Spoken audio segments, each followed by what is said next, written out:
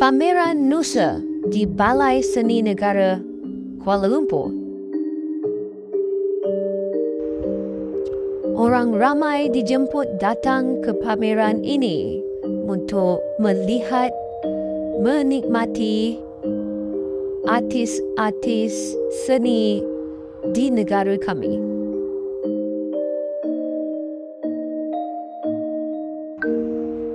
Inilah ciptaan seniman Anwar Rashid yang bertajuk Asma'al Husna.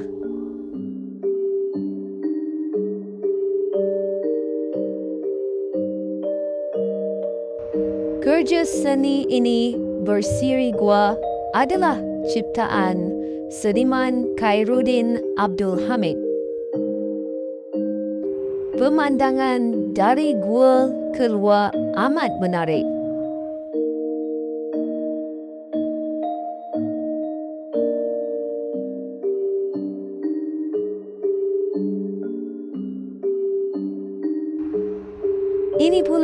Pula kerja seni Muhammad Yusuf bin Ismail. Di sini kita boleh melihat binatang gajah menyiram air ke atas binatang yang lain. Amat menarik sekali.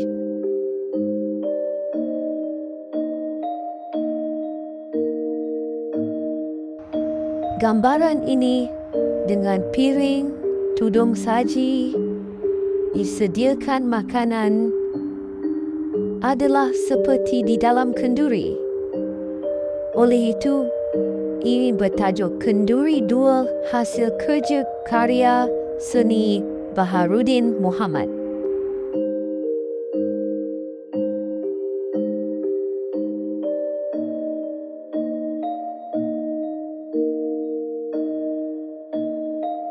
Ini pula amat pelik sekali.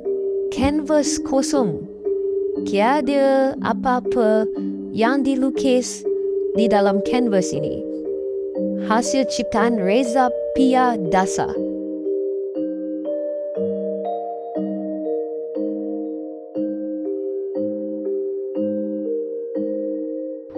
Ini pula adalah bayang-bayang sangka burung. Juga hasil ciptaan seniman Reza Pia Dasa.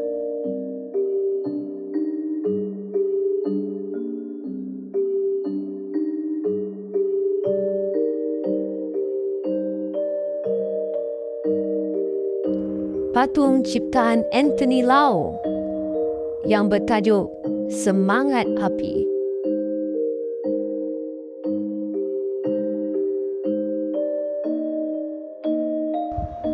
Canvas ini kalau dilihat dengan lebih dekat seperti bungkusan makanan.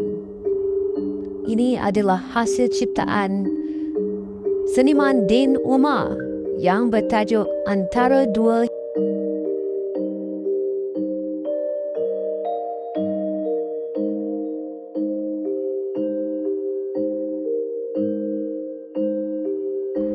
Wow, ini adalah dinamakan lembu liar. Nampak sangat ganas. Ini adalah hasil ciptaan Anthony Lau. Ini boleh dibeli juga di kedai cendur mata.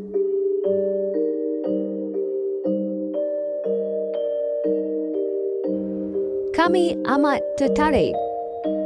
Balai Seni Negara yang mempunyai pelbagai jenis seni.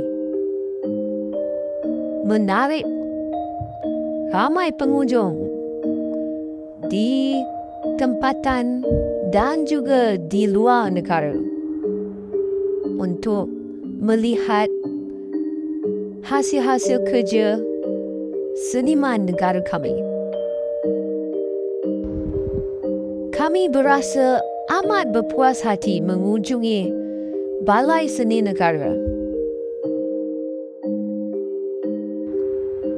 Tempat di sini luas, selesa, udara yang nyaman dan paling utama ialah hasil-hasil seni yang dipamerkan amat mengagumkan.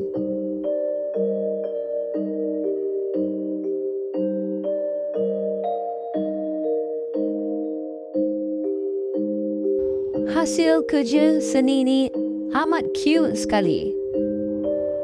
Ini adalah kedai restoran di Malaysia yang dibuat secara kecil-kecilan.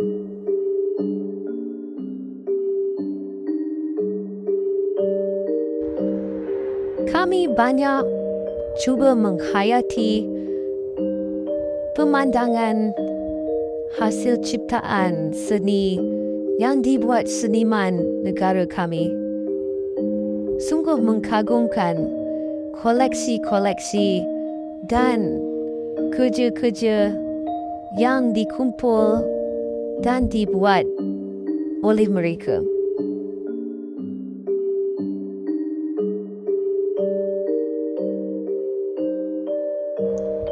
Memang tidak bosan sekali. Kami pergi berjam-jam untuk melihat kreativiti-kreativiti seniman yang amat luar biasa. Sungguh-sungguh terpegun kami dengan hasil-hasil ciptaan mereka.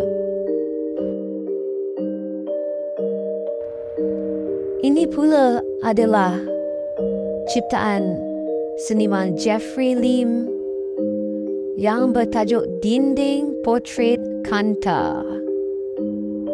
Portrait-portrait keluarga-keluarga yang dikumpul oleh seniman Jeffrey Lim.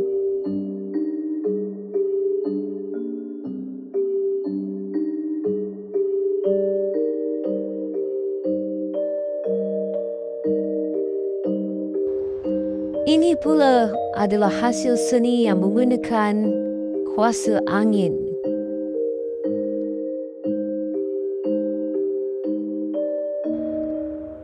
Kami amat gembira sekali dapat mengunjungi Balai Seni Negara.